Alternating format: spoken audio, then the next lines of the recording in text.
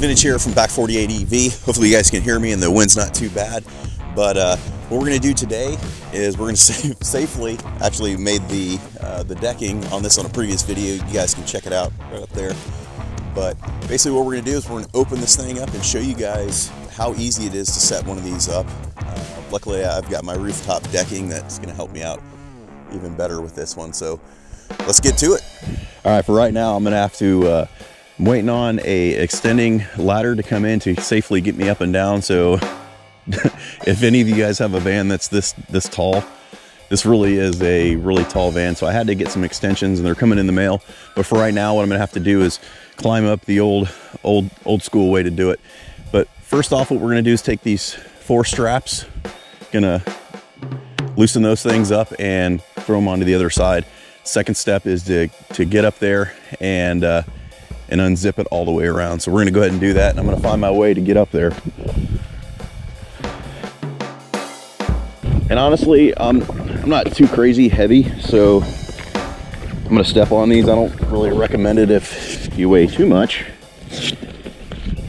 It is a composite material. The decking is on, on the rooftop itself. All right, so on the sides here, you got these little Velcro pieces right here that you uh, basically undo and you can unzip, like I said, all the way around, all the way around. Throw these out of the way, like I said, just because you're without dinging up your car. Just because the zipper goes on the opposite side, or excuse me, zipper goes underneath those, so they're actually kind of in the way.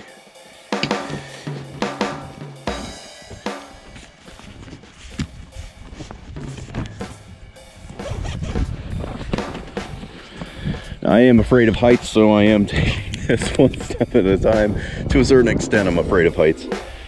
Having a tall van doesn't really help out too much. All right, so it's unzipped all the way around now. You're gonna go ahead and throw this thing over and uh, unveil it.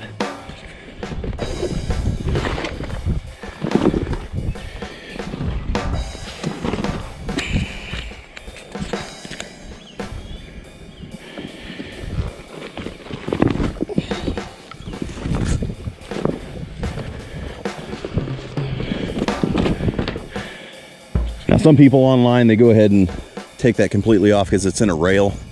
Me, uh, not that big of a deal. Some people want to put their annex over there and uh, get that out of the way. Haven't really used the annex yet, so not really sure the deals on that. What I normally do is kind of extend these out, make sure these lock into place. There's two, two holes for those things to lock in. And on the sides here, you have two, uh, excuse me, on the opposite side, you're gonna have two clips here. One's gonna be right here.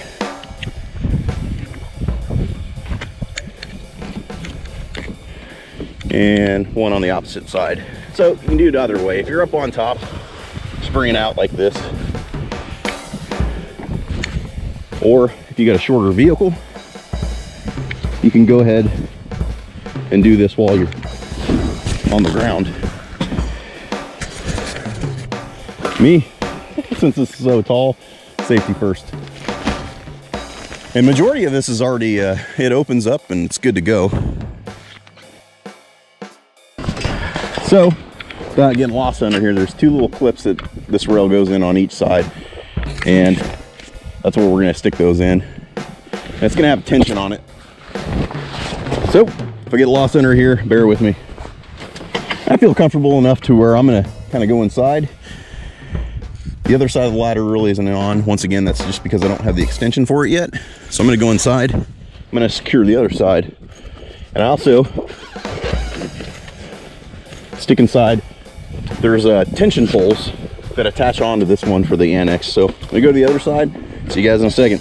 All right, so next what we're gonna do is take these extensions and we're gonna secure them up to the, uh, the annex bar.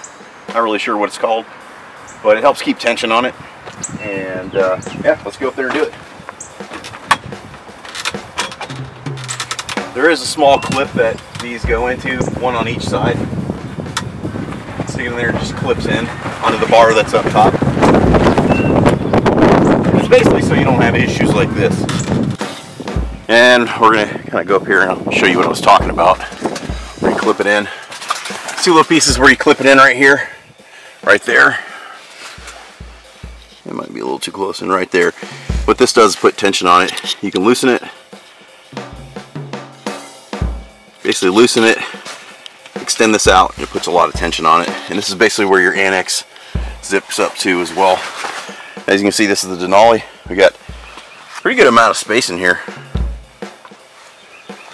All right, so we got the first one up. Second one, same thing. We're gonna put this in the hole right here.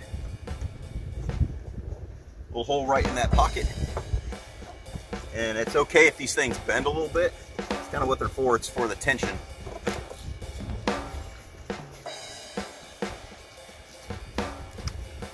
All right, same thing. Got yourself a window. If you want to open up the vents, you got a little rain flap right here. All right, guys, thanks for joining me today on the Denali rooftop tent made by CVT. Don't forget to hit that subscribe button and push that bell icon for future videos. Hope to see you guys on the next trail. Ninja out.